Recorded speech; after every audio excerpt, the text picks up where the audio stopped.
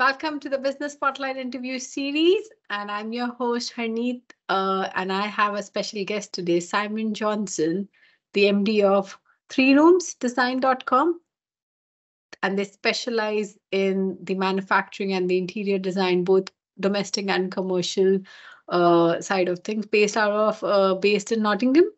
Yeah.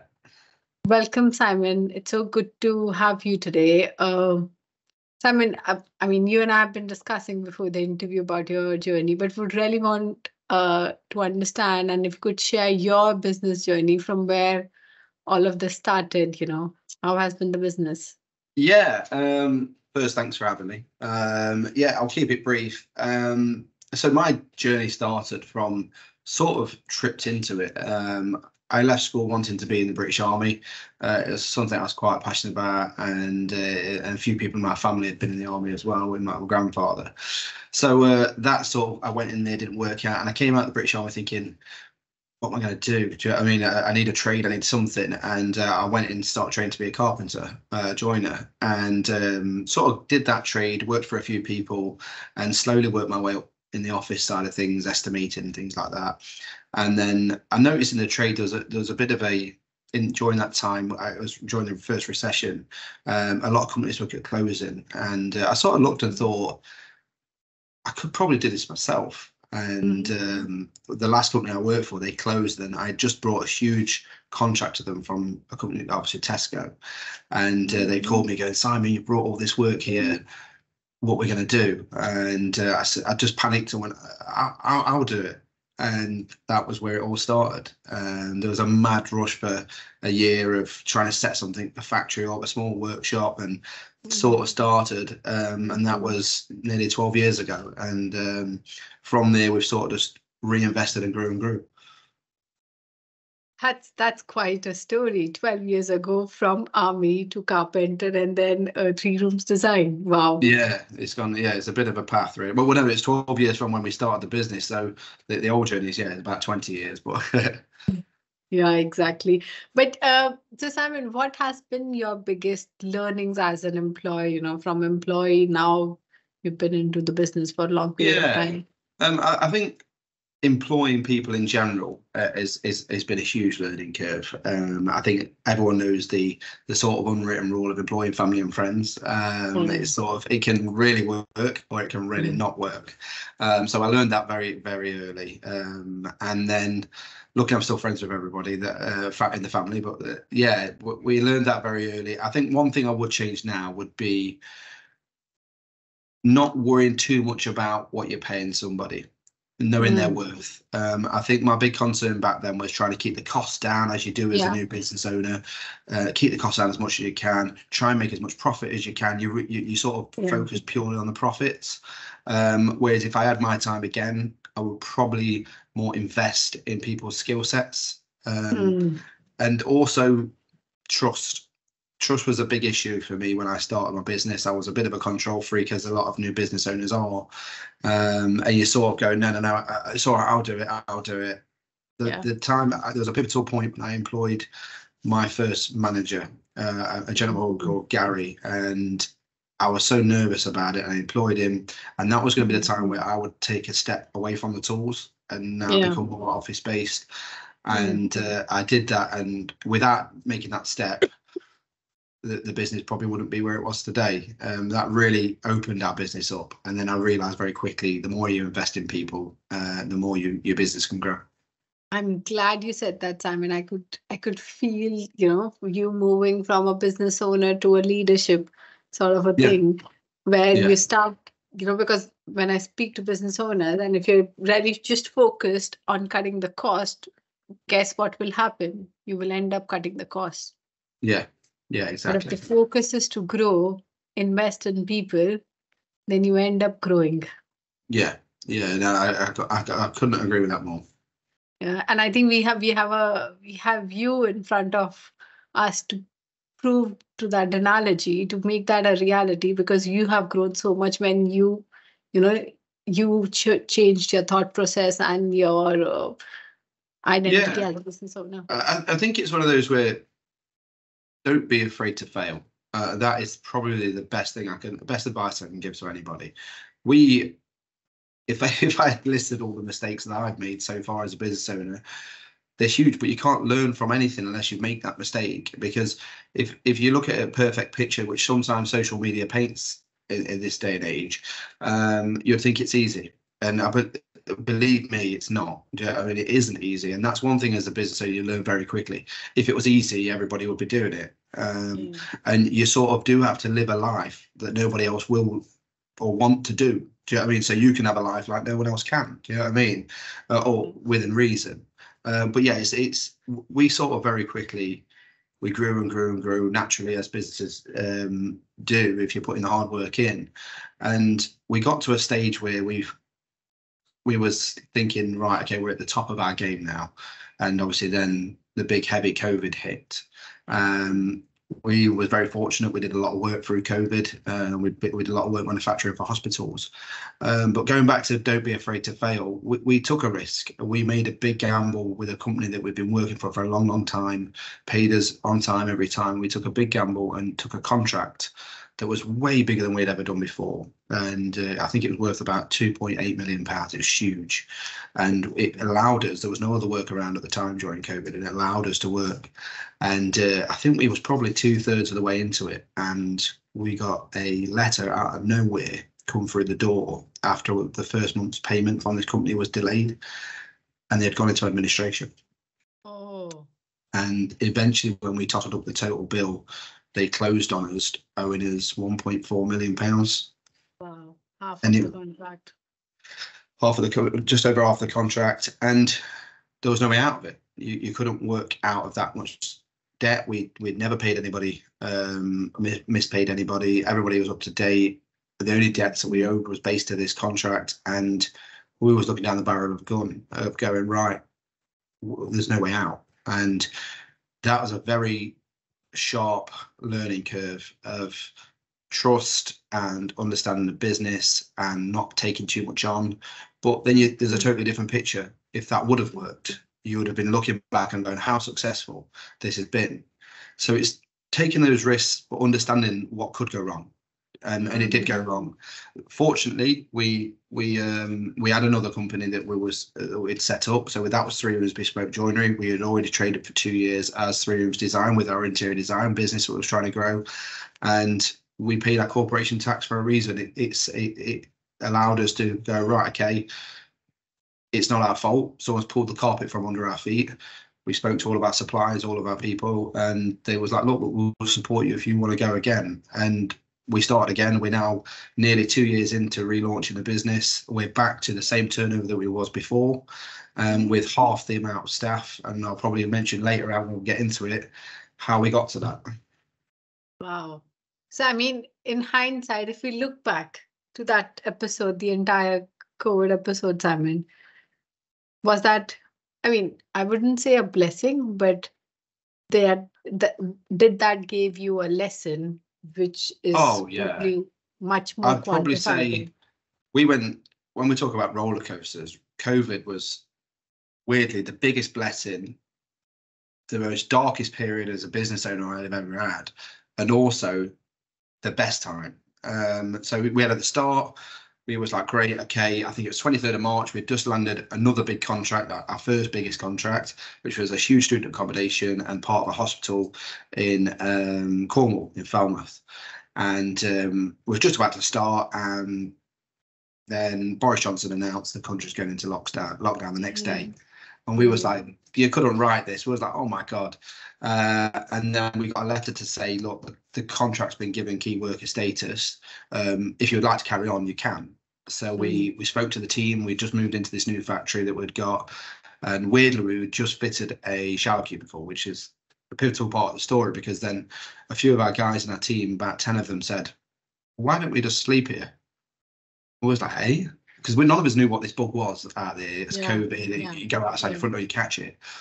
And we come up with this plan. A few of us are ex-army, and we come up with this plan of saying, right, okay, well, what if we stay here Monday to Friday? We go home at the mm-hmm. weekend. We reduce the risk of taking COVID through our front door every day of the week. We go mm-hmm. home, we do our family shop on a Friday to take the food back home, and we pick up some extra food during that period, each of us, and bring it back to work on a Monday. And we fitted out sleeping quarters, cleaning facilities, and everybody still worked their normal shift. And at the end of the shift, we set up a cinema room and things like that. And we was here for probably about eight or nine weeks, nearly, nearly Wow. like just over two months. Wow. Um, and the BBC got wind of it, and the news got wind of it, and they gave us a camera to bring in, and we got on the news, and that was the high point of COVID. That we were surviving, we was getting through it, we were still managing to keep Yeah. everybody open. We didn't. We, it was probably only one or two office staff we had to put on furlough. We didn't have to depend on any loans. We was very fortunate. But looking around on the industrial estate that we're on, there were businesses that were closing. There were businesses that couldn't survive. So we felt Yeah. very fortunate, but we we had to be the sort of survivor, uh, force our own success. Um, so we pushed through there, and then obviously the downfall of the business when we, we got took by that other company was the low point. Um, Mm. especially from a mental health point of view, Yeah. I'd never sort not sort of believed in mental health, but I'd sort of gone, look, everybody's their own personal person. Being from a military background, you sort of bury that and get on with things. And that was a harsh lesson to learn as a business owner. Um, I worked very closely with a company called Talking Therapies. I'm very open about it, and it helped me through a very a difficult period of understanding as a business owner. There's there's sort of not always anybody above you to ask, how do I get through this? How do I how do I manage this situation? And you've got to you've got to ask for help, and I didn't at that time. Uh, but now I'm in a great position after that. Then we moved into relaunching the business and, and how that's grown naturally and moved into a, a four day week working pattern for and we pay the guys for five days still. So they've got that better home life work balance and, and that's a success of the positive side how we came out of it. So COVID was a real Yeah, weird time for mean, it it seems that you know i mean what business owners would experience in a couple of years it feels as if you've experienced in that short period of uh, Yeah. span of time yeah great great that but you know simon which brings me to my next question and behind looking at behind you series of awards and recognitions you know what you just shared the ups and downs the roller coaster ride you had what do you think would be the if you have to nail down to let's say one thing uh, that you attribute your growth to what would that be Um, I think it's. I'd probably say three things. It's hard to put it down to one. I okay one. let's go for three I think one is to be able to adapt and overcome. There's constant Mhm. challenges all the time, as, as we've just heard, and whether that be a material that's not available, whether that's somebody that the staff member that turns ill and can't come in, whether or not sometimes you've got a power cut in the factory, power doesn't work for three days. You've got to adapt and overcome. Um, if you just stand by and watch it and wait, wait for everything to get fixed, you'll very, very close your door, very quickly close your doors. So I think that's probably my first one. The second one is is is definitely it's just the basic. It's hard work. If you're not prepared to put that hard work and sacrifice and and work harder than anybody else that you know, um, it's just not going to pay off. I- I- Mhm. At certain periods of time through the business, you can cruise along uh, and the business sort of works itself. But if you get complacent and you're not prepared to constantly put that hard work in, you, Mhm. you can start slipping down a slippery slope. Um, So Yeah. yeah, I'd say hard work, and the last thing is work ethics.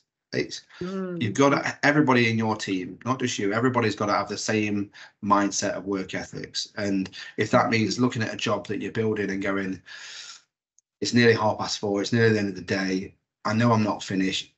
Having that work ethic to go, if I put an extra hour in here, I can get it finished today, and the customer's going to be happy, and it's now going to potentially be more, more work for us. If you have that mindset of going, well, it's not my job. I'm going. It's half past four, and someone else can finish it that's not being a great part of our team. Do you know what I mean? And I think if you haven't got that, then that's it. So I'd probably say they're the three attributes for me as to why we're still here today. Yeah, absolutely. And I, I think one I can one I can add to it by listening by speaking to you is uh, definitely resilience. And I think that could be probably your background in armying, you know. You definitely seem to have that resilient mindset. Although you you said it that you were not in the right mindset at one point of time, but you asked for it. All of us are, I mean, we always go through up and downs, but you know, And I think that also, I think we touched on base before we started this. Um, that resilience and that being able to adapt and overcome isn't just with me and my team. There's there's people behind that. There's people's partners at homes. We have families. My partner Claire, we spoke about before. We wouldn't even have this business without having the support that your partners give you at home. Do you know what I mean? You mm. when you come home, you've had an horrendous time. You don't want to carry that baggage through the front door. But having that person that will break it down with you, will, have mm. another thought process with you and go, right, okay, well, what about this? Or yeah, you're right. Well, maybe you might be wrong Mhm. having that person to bounce off at home that you can't sort of do that in the office is mm. is priceless. It's priceless. And without Claire, the business wouldn't be where we are today. Yeah, I'm sure Claire would be definitely very uh, proud of you.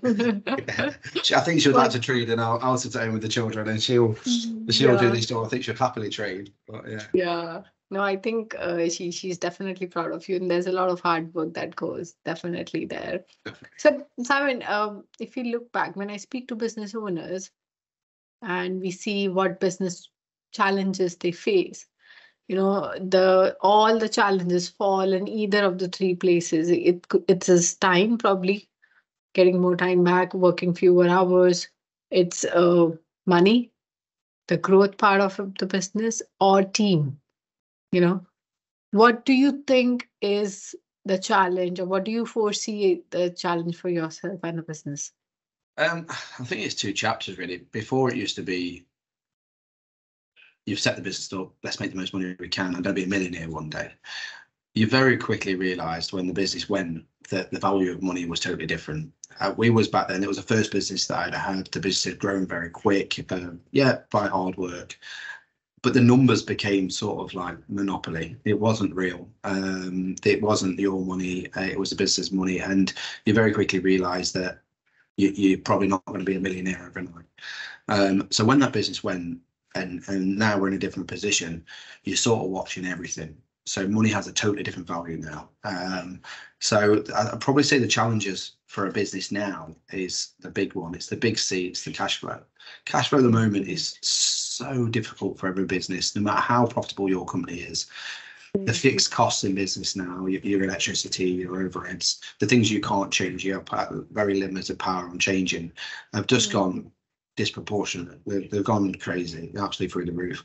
And you can't just offload that onto your customer. Yeah, I mean, it's because then you have no business. Um, so you've got to trickle feed that into your into your into your Mhm. customer to try and increase your profit margin. So Mm. the difficulty is when these are growing so fast and you can only trickle this in, your cash flow Mm. is suffering in the middle. Um, Yeah. Yeah that that is exactly where everybody I feel everybody is in the minute. So I think the biggest challenge is is the world that's affecting our cash flow, um, Yeah. and the support from the government in regards to wages are flying up. Um, Yeah. Everybody's people need money, and I understand that. Uh, um, you, you look at it slightly differently. I think now as a business owner, when I was working with somebody before, I was constantly looking for a pay rise. As a business owner, you're sort of trying to keep that door shut a little bit. yeah. But the, the the the fast growth of wages over the past five years is is surreal. Um, it's needed, but I think the problem is if the profits and the and the cash flow in the business isn't growing, but demands of minimum wage are going so high, um, they're not keeping up with each other. So Exactly, exactly that, and that's probably why you've got one so many businesses closing two so many startups because people are going "Ah, you know what? Actually i want more money. My, my boss isn't going to give it to me. I'm going to go and do this for myself. Yeah. Uh, which is great. A lot more people get more independent but the problem is they very quickly realize it's not that easy and they're nosediving. Yeah. exactly. Um, so this is the issue and, and it's a massive issue. I think the core of that is always going to come back to the cash flow. It's, it's always the big one Yeah, I, I, mean, you've touched a very good point. I when I speak to business owners, because numbers is my strength, and I love um, uh, because of my background, I love playing um, with numbers and cash flow, spec- especially for bigger companies. You know, uh, manufacturing it's it's massive, and then it's like how do you employ the right oper- you know right tools and how do you measure it because you can only spend that much cash what's coming in yeah yeah of course you can yeah and i you think it's tricky beyond that it's very tricky because you can you look at it and i think we're we're fortunately as your businesses grow you get opportunities and you see opportunities to say you know what actually um i'm paying so much money out on transport I might as well start a little transport business. So we've got a lot of spin-off companies from our company that we own. And one of the businesses that we're looking at now is basically an industry that there is no stock, there is no inventory. So you don't have to manufacture anything. So your your risk is, is very low. Um, so we're looking at um, it's it's more into the estate agent, letting agency, property property market. Obviously, with the background outside of the business, we uh, fortunately me and my partner have brought a lot of properties and rented them out. So it's a natural progression that we're trying to move into. But you look at that interest, you, you sort of look at it and dream and think, I can't wait not to have to buy so much stock and uh, manufacture everything and the risk of there being a slight mark on something and the customer not being happy and to to have that headache taken away in this climate is huge. Do you know what I mean? Because the profit margins now have come so tight that it's very hard for any manufacturer to stay profitable um, as as they used to be. Um, so everybody's feeling the pinch, I think. No, definitely, I I can relate to. This is what I hear from everyone, and uh, I think, but yeah, let's have this discussion. Uh, so we can go into the detailed part of it. So, uh, moving on, Simon if you have to start the business from the scratch i think you mentioned about one point but what would you do what would you do differently this time um what would i do differently um i think if i had to sort of start again um i would invest a lot more into like i say one into people um mm-hmm. in, in regards to not looking for the cheapest wage and think, oh, it's yeah. okay, I can train them. Um, probably invest in people's expertise very early doors and invest into soft, forward thinking software and technology. The, the, whether we like it or not, technology runs the world. And obviously, there's obviously people behind that, but in old trades and industries like joinery and brickwork and, and things like that, things that people say are the trades that we lose that we're dying off. Um, they're dying off if you don't adapt and overcome and if you don't forward think. So I think if I had to do this again, I'd invest a lot more into my accountancy software from the day one. So into things like Sage from day one, not trying to think I could do it myself. Um, I'm glad you said that. Because uh, that is one thing that trips probably most business owners up, unless they come from that background, um, is the is the numbers. Do you know what I mean? Yes. And very quickly understanding corporation tax and VAT and PAYE and how to pay yourself properly and things like that. If you've got nobody guiding you through that, it's a very tricky period. And I think most business owners that haven't had someone guiding them through that, it's their first hurdle they trip over. Um, and you very quickly realise the taxman waits for nobody. Do you know what I mean? And you have to pay them. Um, so yeah, I'd invest a lot into my Sage software, probably very early doors. And industry specific software and technology in regards to we have a lot of software that helps us design things and helps us do the, the drawings and the cutting sheets for the factory. Machinery that can do probably mm. four or five men's job very accurately that allows you to have less staff do you know I mean to start mm. off with and be more accurate and more efficient. Um, so I think definitely software technology and skilled staff would be my start straight away yeah, I mean, you you have actually nailed all the points which is needed to grow a business that can work without you because that's where the leverage comes in. To yeah. grow a business because mm. business is an intangible asset. To grow a business, we need to grow our team, who in turn makes happy customer and a happy customer results to a happy business and a happy business owner. It do, it does, and I think the job that you guys do, the job that people like the Federation of Small Businesses and people like that it's invaluable because if you guys don't spread the word about things like this and give people the information that are looking to take that first step and and potentially make avoid all the mistakes that a lot of us have made that gives them a lot more chance of succeeding. Do you know i mean? Absolutely. and if they if they don't heed this advice um then yeah best of luck because it is it's invaluable. Yeah it, it it definitely is. So you said people, people definitely. You've been talking about it since the start. Yeah. Is massive uh, for you. I can I can really see that. But now, when you look at hiring employees, what sort of qualities do you look at, and how do you create that work environment? I mean, you've spoken about COVID. I when you were talking, I was like, that is fun. You know, that yeah, is the sort of it was. I think you've got to. There's a fine line between friendship and an employee Um, Mhm. And employees do become friends. Um, Mhm. but you very quickly realize if you do something wrong with their pay packet, that friendship's not so much there. So it, there is, I think there's employee friends and then there's friends. So you, there's a fine line. I think if if I was hiring people again uh, and I had to do it all over again to hire people, yeah, I'd do it a, a lot differently. Um, every, one one thing I've learned hugely with employing staff is, wow, everybody's different. And everybody's so different. Yes, they've all come here to do the same job.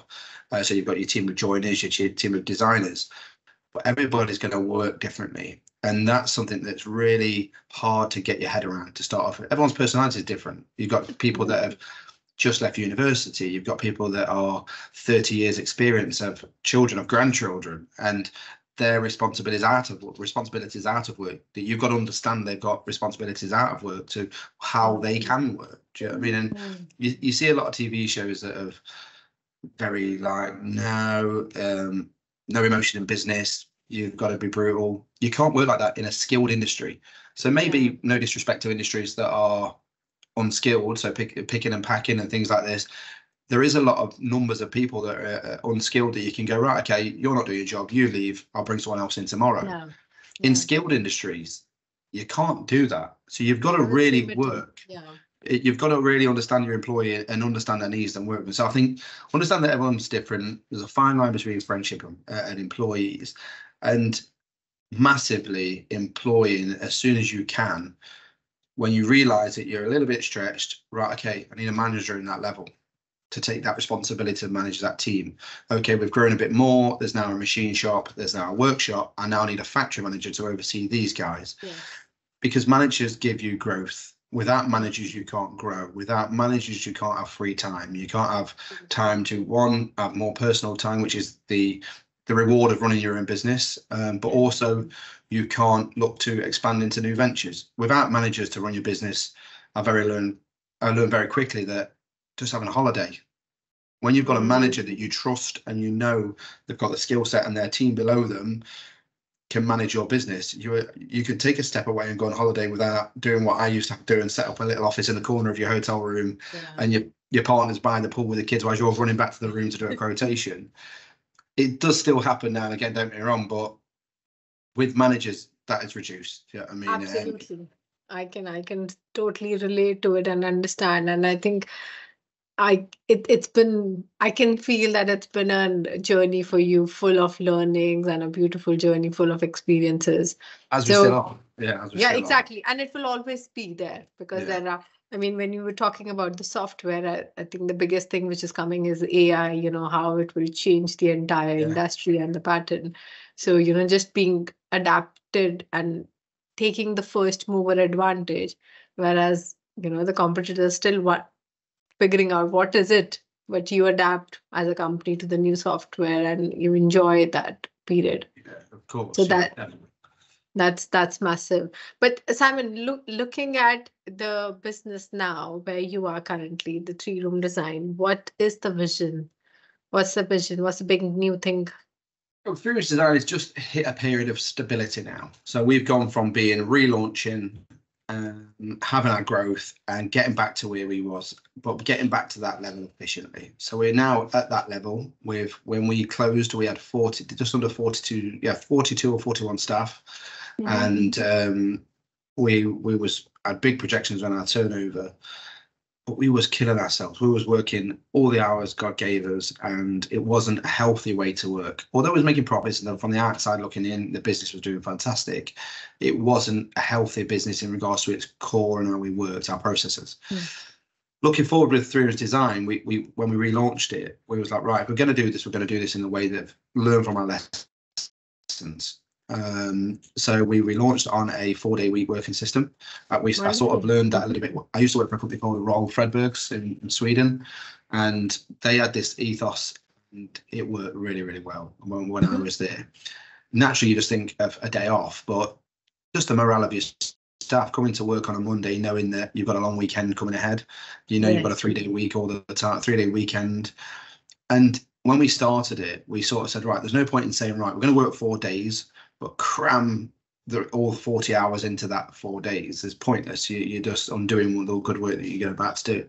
So we sort of said to the staff, if you could work one hour extra a day, but it's your choice how you work that hour. So you could come in half an hour early, stay half an hour late. The Yeah. flexibility of that. Um, so we we put that into it, and then Fridays became everybody's day off, but you still got paid. Um, and if we ever needed overtime, as this industry, we get busy. Friday mornings became the new Saturday mornings, and because of that, Mhm. most people's partners and family were at school or at work, so it became very accessible to do overtime. So people had accessible access to more income. We had Mm. accessible access to more people to do overtime, and people don't look at that side of it. So, and we also, if we did overtime on a Friday, we could see what we've achieved with that time, what we've Yeah. done on that one day, rather than hours spread through the week. Yeah. So that that worked really well for us. So we introduced that when we started. We gave it six months, and um, wow, yeah, it was a success. We had to make a few tweaks along the way, um, but yeah, it was a, it was an underlying massive success. So that was something we put in. So we've now hit that point now with that working so well. We've got very efficient staff. We've invested into our technology, and now we have. I think we've got 18 staff now.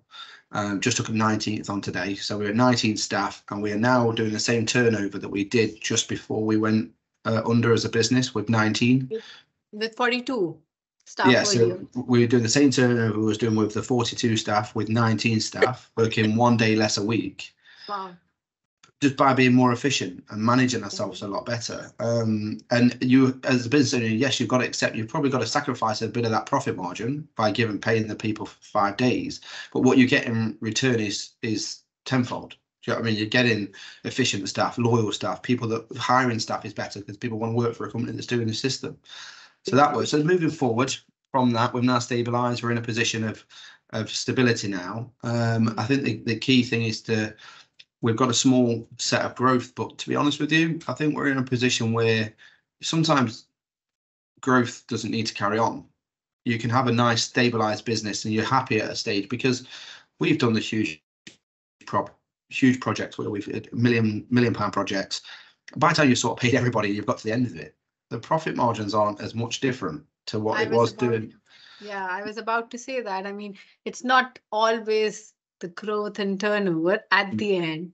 What comes in your pocket is profit and It cash. is. And for me now, we look at this and, as a business and go, yes, cash is king all the time. Do you know what I mean? You've got to pay your bills. But it's hard for me to, to sort of say this because I never sort of believed this back in the day. But but looking at this now, our profit is sort of without sounding cheesy, is is family and happiness.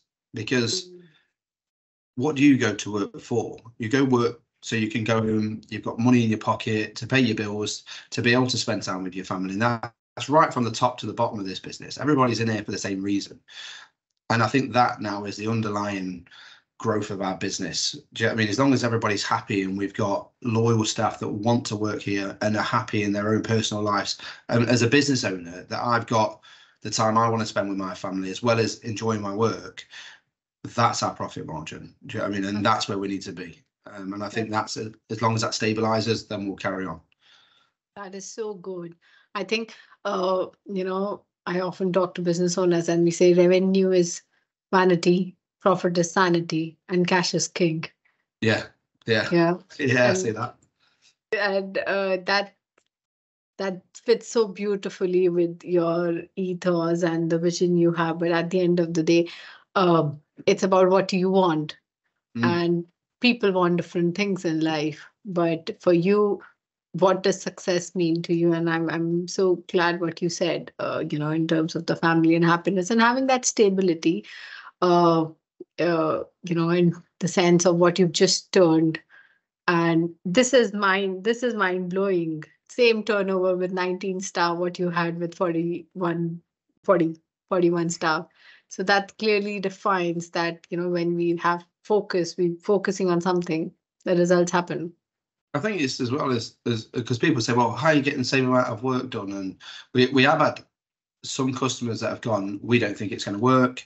Uh, is that going to affect our workload? And obviously, we have to try and reassure them, but it's using your time effectively that you've got, and, it, and it's having managers in place, managers in place, and obviously managing yourself that you know you're coming in. You've now got Yeah. Thirty to thirty six hours to work with. So it's managing that time really efficient and effectively, um, rather than going, it's okay, we've got five days. Do you know what I mean? So it's worked elsewhere. Why can't it work for us? And we've made it work. Yeah, you remind me of something. You know, if we have a flight to catch on a Friday evening when we are going for a holiday, how efficient is that Friday? Because we know that we have a flight to catch. How many things we're able to do that Yeah. on that one day? And it's surreal because if somebody says to you, right, okay, you've got to, we've got, we've won a ticket to go to so and so, we've got to go in two hours, get home, pack the stuff for the kids, so you've got to go. You'll pack, It you'll get happens. there. Yeah. If someone says to you, you've got till the end of the week, you'll still do that mad rush on Friday. And it's Yeah. just the same, it's the same principle. But no, it's, I think with, with our business, and one thing now that we, we, we sort of look forward to now, and as a business owner, is to know sort of how to put this, is to know when, don't be afraid to fail. Don't be afraid to say, yeah, I'm, I'm happy with my business now, but I'm looking for a new challenge. Do you know what I mean? And I think that's, some people feel sort of, I could imagine, and I felt like this before my old business, you do sort of feel sometimes trapped. Because as a Yeah. business owner, you've you've built a life for yourself outside. So you've now got a nice house, a, a nice car, you live in a nice area. And there's a lot of responsibility, to, pressure to keep that up. I, th- I won't say just responsibility, it's pressure to keep that that up, to give your children the life sort of you, you didn't have, and, uh, and and that, and that comes with a lot of pressure.